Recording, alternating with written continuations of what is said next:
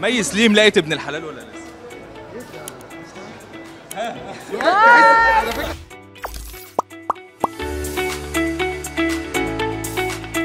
سعيدة جدا بالتجربة دي سعيدة بكل التفاصيل اللي فيها. مبسوطة بالشغل مع المخرج الجميل أستاذ أيمن مكرم وأستاذ سمير النيل اللي كاتب الفيلم المنتج. الفيلم بيحكي عن آه، واقع حاصل دلوقتي على غلاء الأسعار واللي بيحصل مواضيع اجتماعية. وفي لاين رومانسي حلو قوي بيجمعني بأحمد الفيشاوي في الفيلم. آه، في علاقة بتجمع الأم ببنتها. فعلا آه، علاقة فيها كده مشاعر وإنسانيات حلوة قوي. الفيلم مختلف. من أول ما قريت الفيلم ما ترددتش لحظة إن أنا أكون موجودة فيه. قلت لهم أنا معاكم والفيلم ده أنا حاسة إن هو لمسني. ومش بقول الكلام ده والله عشان إحنا قدام الكاميرا لا والله. الفيلم فعلا مختلف وموضوع موضوع حلو قوي. وموضوع موضوع مهم.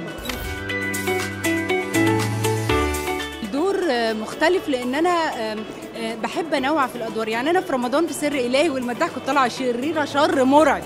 يعني مش قوي بره والله الناس بتصدق إن أنا شريرة بس عملت حاجتين شر فأنا بحب أنوع يعني. الشخصية اللي أنا بعملها أنا البنت الجدعة الطيبة بنت البلد المتمسكة بمبادئها اللي عندها طموح. فده آه، أنا ما عملتوش كتير في السينما. فحبيت الشخصية وحبيت العلاقة بينها وبين. و... وبين الناس اللي في الحارة.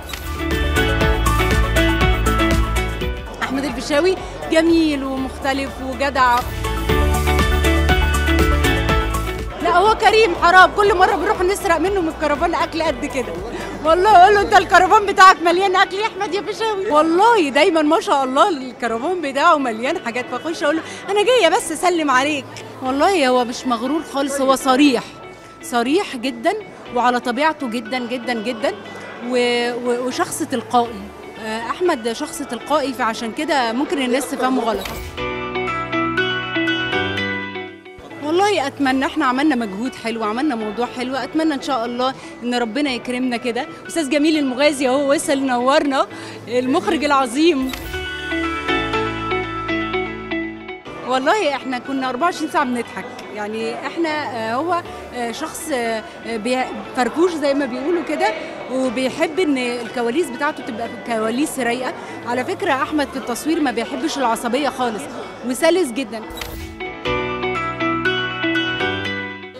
إن شاء الله في أغنية بإذن الله هتنزل قريب. أنا بدور على أغنية بس أقول لك استقريت. لا وأنا محتارة بين ثلاث أغاني بس أتمنى إن شاء الله إن شاء الله إن أنا ألحق الصيف.